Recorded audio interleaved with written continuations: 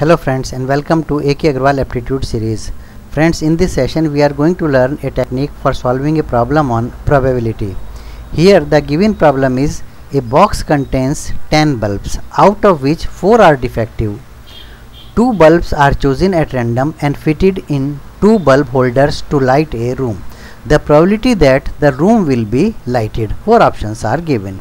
Means total 10 bulbs are there we have to select 2 but there are 4 defective bulbs. So what is the probability that room will be lighted? So friends to answer such type of a question first let us see the room will be lighted if we select two bulbs such that both of them are working two working bulb plus zero defective bulb or one working plus one defective because at a time we have to select two bulbs.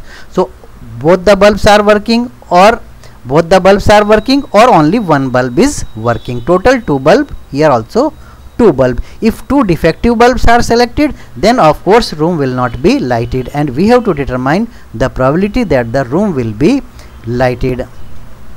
So total possible events. First let us determine total possible events. Total 10 bulbs are there and we have to select 2 it means 10 C2 we have to select 2 out of 10 these are the total possible events of selecting two balls out of 10 two bulbs out of 10 that is 10 into 9 divided by 2 into 1 is equal to 45 so there are 45 different combinations of bulbs are possible to draw the two bulbs from this bag containing 10 bulbs.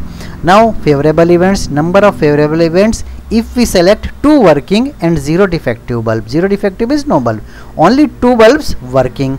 How many working bulbs are there? Out of 10 4 are defective. It means 6 are in good condition good working condition. So two bulbs we want to select in working condition that is 6c2 because 6 working bulbs are there and we want to select 2 that is in our favor. 6c2 means 6 into 5 divided by 2 into 1 is equal to 15 so there are 15 different combinations are possible if we select two working bulb out of six working bulbs.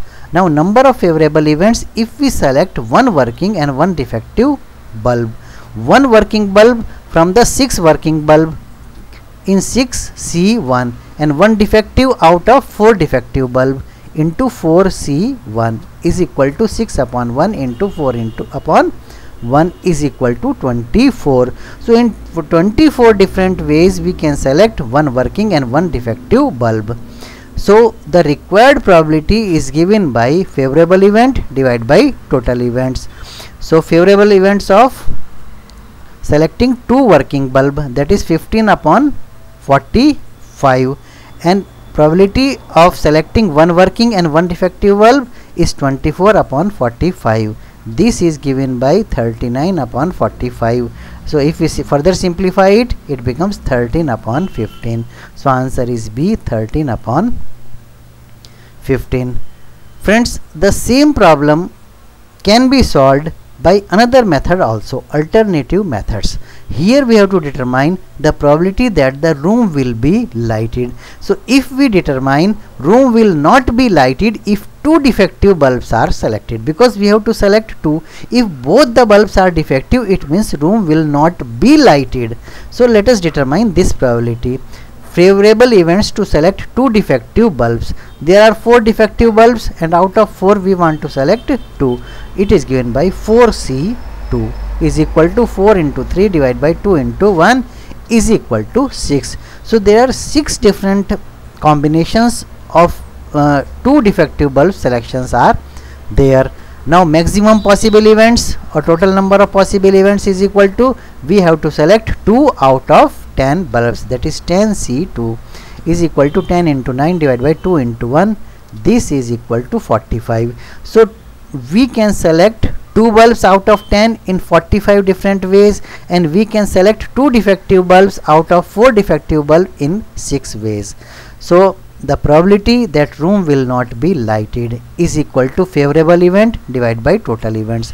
Favorable events are 6, total possible events are 45. This